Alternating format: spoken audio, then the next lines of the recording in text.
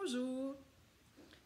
Pour ce nouvel an de l'année 2021, j'ai pensé offrir aux amis et à la parenté la lecture d'un de mes contes. Voici donc ceux que j'ai publiés jusqu'à date. Et aujourd'hui, je vais choisir un conte de mon père. OK? Euh, voilà. Il s'appelle L'histoire de la jeune fille et du danseur inconnu. Voilà. Autrefois, à la messe du dimanche, dans les campagnes québécoises, les paroissiens écoutaient attentivement les sermons du prêtre. Mais le samedi soir, les jeunes gens trouvaient difficile de mettre en pratique les enseignements reçus.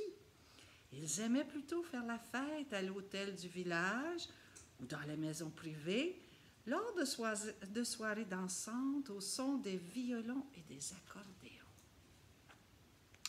Les aînés, pourtant, mettaient en garde cette belle jeunesse en racontant que certaines nuits, le diable rôdait aux alentours pour recueillir des âmes moins pieuses.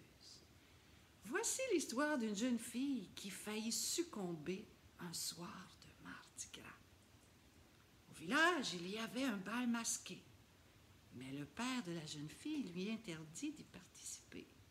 Ma fille, le carême commence demain. Ce n'est pas convenable d'aller te pavaner en ce temps de pénitence. Va, va, plutôt dans ta chambre te recueillir un moment avant de te coucher. Tu pourrais penser à tes manquements. Fais tes prières et demande. Seule, assise sur son lit, la jeune fille s'apitoyait sur son sort.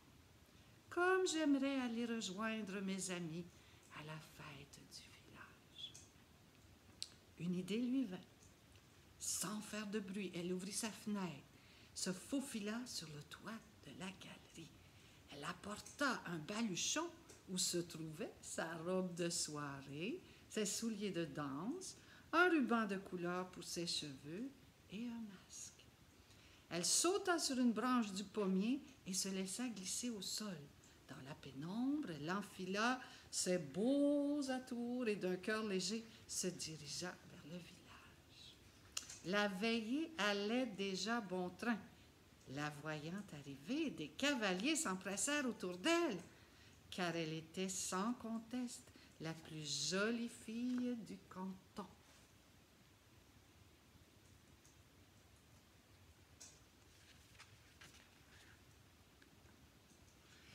De temps après, une agitation à l'extérieur de la salle vint perturber le joyeux déroulement de la fête. Un bel étranger masqué tout de noir vêtu fit son apparition. Il sauta de son carrosse, attacha son beau cheval au pelage sombre et luisant près d'une mangeoire.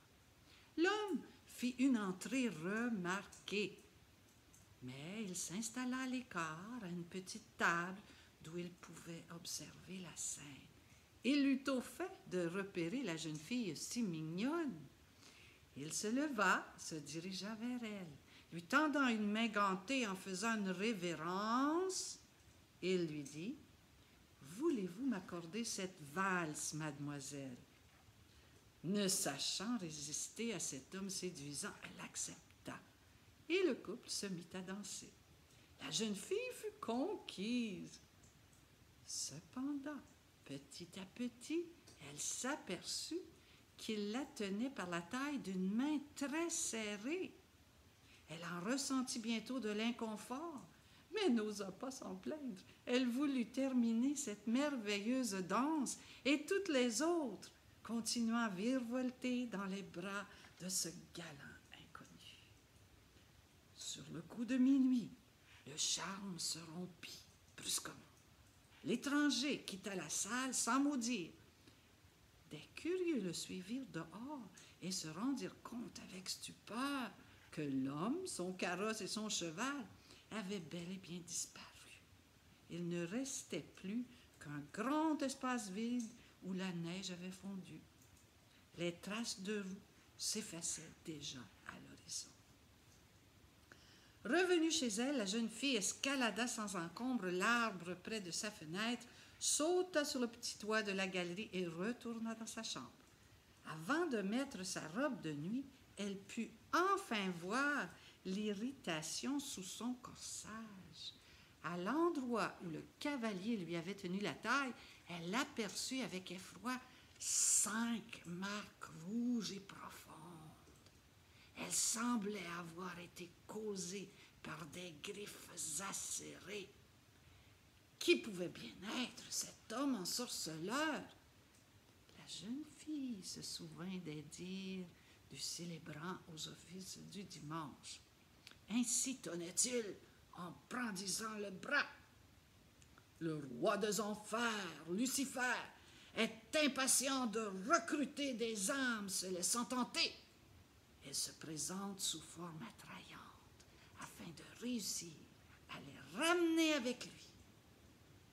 La jeune fille comprit enfin les mises en garde des aînés.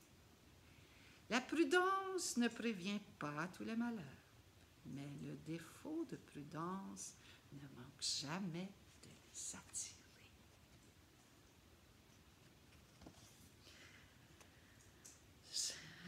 Bonne année et à la prochaine. Peut-être y en aura-t-il un autre plus tard.